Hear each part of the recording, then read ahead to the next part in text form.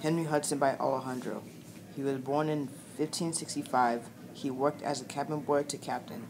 Henry Hudson spent his career looking for routes to Asia. He was sent by the Muscovy Company.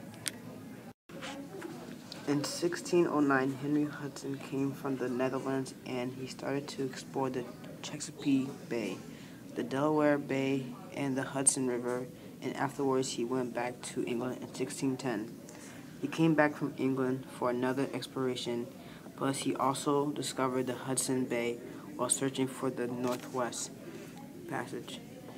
In 1611, he got abandoned by mutineers. Oh no. In 1610, on one of his last voyages, was to find the Northwest Passage.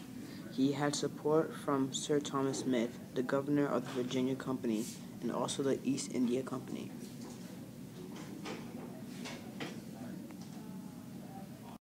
Henry Hudson never found the Northwest Passage, but he did find the Hudson Bay and had many more discoveries.